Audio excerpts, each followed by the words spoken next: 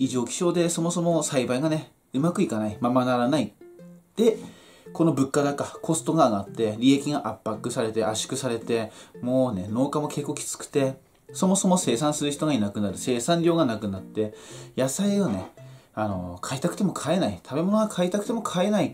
食料危機が来るんじゃないかと。俺は予測して、それで家庭菜園をやってほしいっていう動画、ね、結構伸びたんだけどね、最近ね。で、いろんな人に登録してもらったんだけれども、そのコメントの中で、どうしてもね、あの、やりたくてもやれないんだと。土地がないし、え旦那のね、仕事があるから移住しようにも検討したけども、やっぱおいそれと変えられませんというコメントがあったのね。確かにと。ね。俺はね、まだ自由な方だから、ね、結婚してるわけでもないから、どこでも行けるし、ね、いう仕事、自由なところもあるからできるんだけれども、ね。だけども、確かにそういう事情あるなって思って、じゃあその場合どうすればいいかってことを考えたんで、今回動画撮ってます。で、まあ、二つほど考えました。で、一つは、まあ、その人がどういう場所、皆さんがどういう環境で、どういう状況で生きてるかわかんないから、それもまだできないよっていうのもあるかもしれないけどもね。まず一つ。えー、一つは、野草、山菜、これをね、勉強してほしいなって思います。だから俺とかだとちっちゃい時からね、物心ついた時から父親母親がね、山菜取るのを、まあ、趣味だったから連れて行ってもらって、そこで遊びながらこれ食べれる、これ食べれないっていうのを勉強してきたのね。で、それをどうやって食べるかっていう調理方法、アク抜きとかそういうね、方法も覚えてきて、で、今では、えー、青森市内のね、ここ青森市内なんだけど、の山の中で、ここにこれある、ここにあれある。で全部大体、全部ではないけど、大体場所覚えてるし、初めて行った場所であっても、えー、この雰囲気だったら、この空気だったら、こういう、この時期だったら、まあこんな感じで撮れるんじゃないかな、あれがっていう感じで、取ってくることができる。で、道端歩いてても、あ、あれ食えるじゃん。あ、これ食えるじゃん。っていう形で、ね、食い物をその辺に生えてるのを見てわかるわけさ。ね、で、見てわかるだけじゃなくて、やっぱその食い方、食べ方、えー、調理方法、アク抜き方法っていうものをちゃんと覚えてるから、ね、そういうふうなことでしのぐっていう食料危機をね、いう方法もあるのね。どっちかというと山菜の方がやっぱりね、安定してるかな、まだ。まあ、それでもやっぱね、今年、すごくキノコの生え方もおかしい。出てこないっていうのもあるし、えー、水っていう山菜もあるんだけどね、あのー、水辺にね、清流に生えてる美味しい山菜の水があるんだけども、上場味噌だったかな、正式名称。ね、それ、ね、取りに行ったら、なんかやたら虫に食われてたりとか、なんか量減ったなっていうこともあるから、確実ではないけれども、ね、自然から得られる食べ物、あそこに行けば、こういう山菜がある。この野菜は食える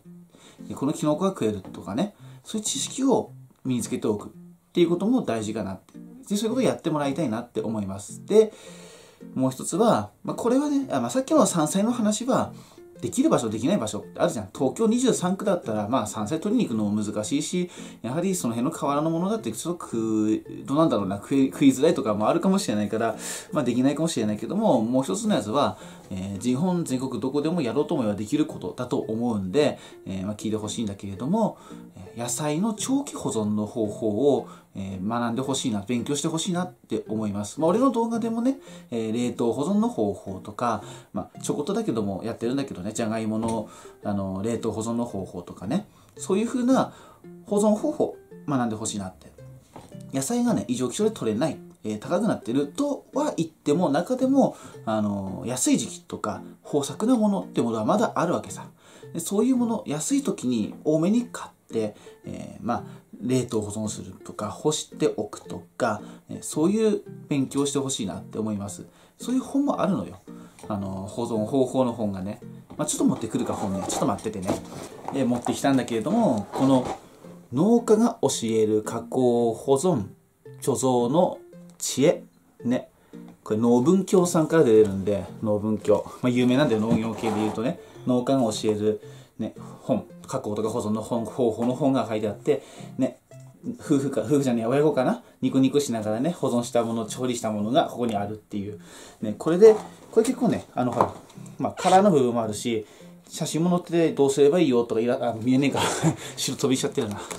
うん。こういうふうにね、どういうふうにやればいいよっていうの書いてある本なんで、まあ、これ一冊買うのもいいかな。1143円プラス税、まあ、かなり前に買ったやつだから値段は違うかもしれないけども、っていう形でこういう風な知識をね、身につけておいてほしいなって。安い時に買って長期保存できるように。じゃ、俺の知ってるので言うと、じゃがいもだったら、えー、茹でて丸ごと冷凍しておくとか、えー、あとは葉物、ほうれん草、小松菜、そういうものであれば、茹でて、あの、切って、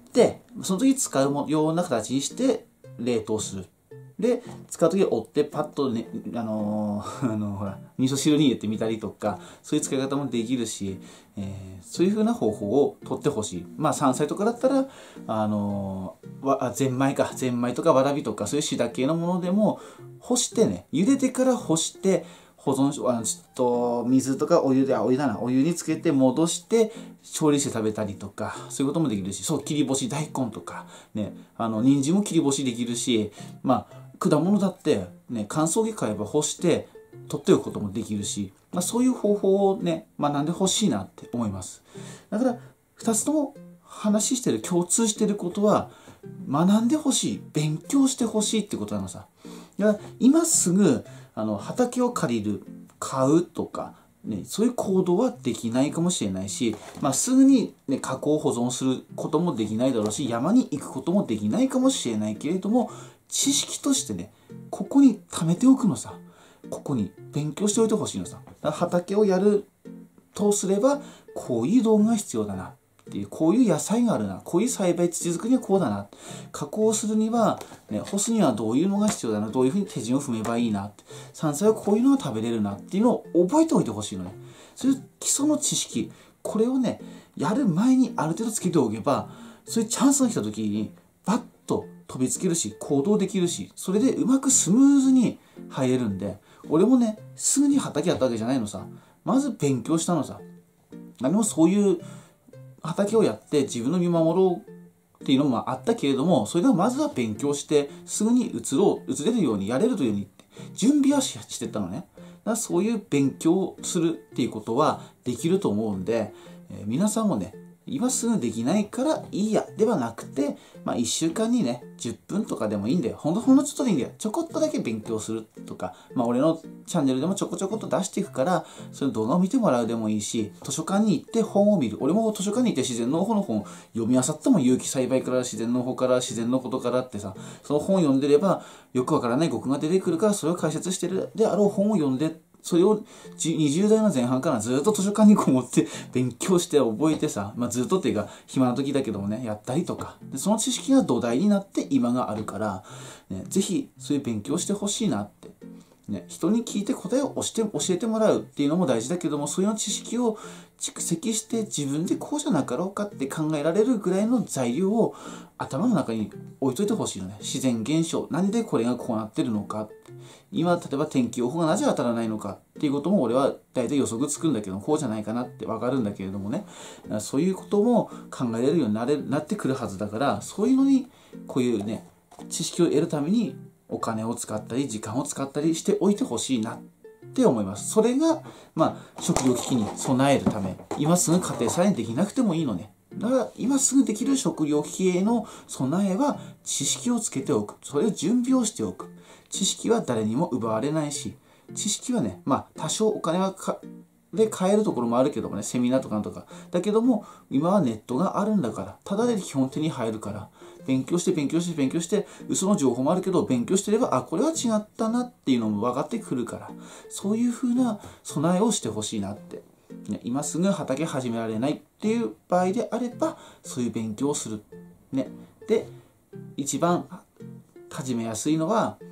スーパーに行って安売りしてる時安くなってる豊作で安くなってる時に買ってきて冷凍保存をやってみてそういう経験を積んでいく近くに山があるなら山に行ってみて取ってみるとかね、まあ、身の安全はね気をつけてね最近クマいっぱい出るから、うん、そこだけは気をつけてそういうふうな今できることねコツコツと。勉強しかできないならね勉強からコツコツと。で安いもの買えるなら安いものを保存してその術を身につける。山に行けるなら山に行って山菜の勉強をする。そういう書物を買って勉強する。畑ができるなら畑をやる。っていう形でおのおのできることをやってもらえればそれでいいと思うんで、えー、できることを探して少しずつやってもらえればいいなと思います。で、そのお手伝いができたら俺はいいなと思って動画 YouTube に上げてるんで、まあ、今後ともねお付き合いできる人いたらチャンネル登録しておいてもらえたらなってこれからもねお付き合いしていただければいいなと思っています